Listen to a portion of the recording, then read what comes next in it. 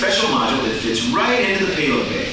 But before you go aboard, we better go over a few basics. Launch preparation for your mission would have started accelerating here at KSC months in advance. But let's cut through all that and move you way closer to launch.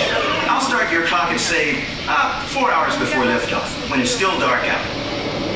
Before you got suited up, the shuttle's external tanker ET was fueled up.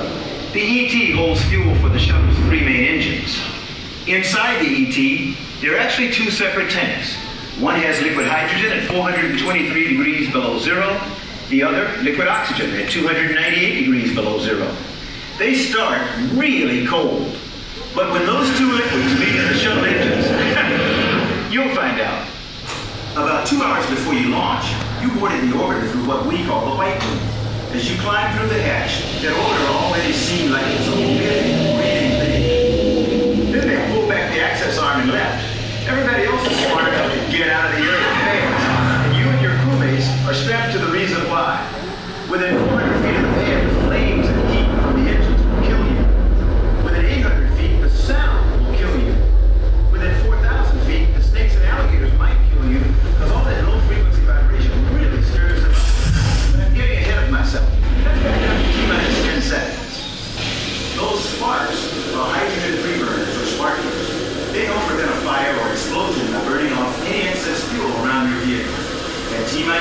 26 seconds.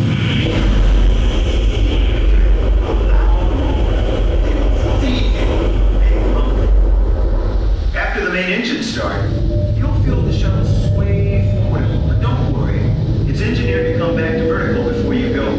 That's what we call the twang.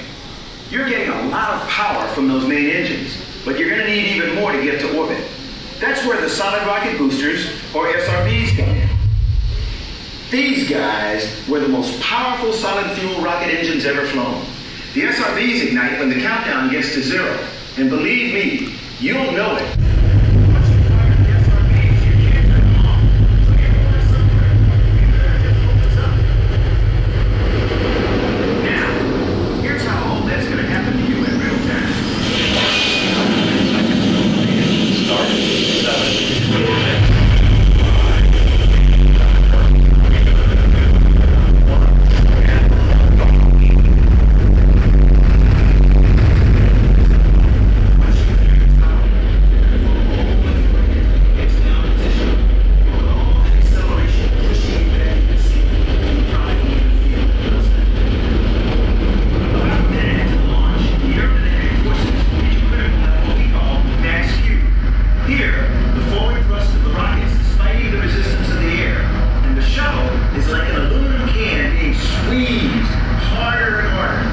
To make sure this doesn't happen, we throttle down the engines to maintain pressures we engineered the shuttle to withstand.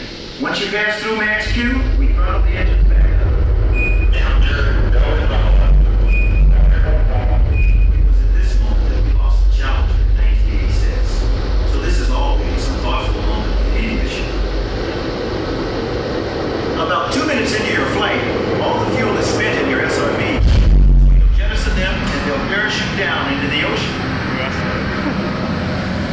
guys were designed to get clean, refurbished, and then used again on another mission. Your ride will get a little less bumpy once your SRBs drop off, but you're still going to keep accelerating. So that's when you'll feel those G-forces really hit you. A few moments later, your ET will have spent all its fuel, and you'll be go for main engine cutoff, or MECO. Then you'll jettison the tank. We call that ET sep. The tank will break up in the atmosphere on the way back down. It's the only part of the shuttle system that wasn't designed for reuse. Congratulations, you made it into orbit.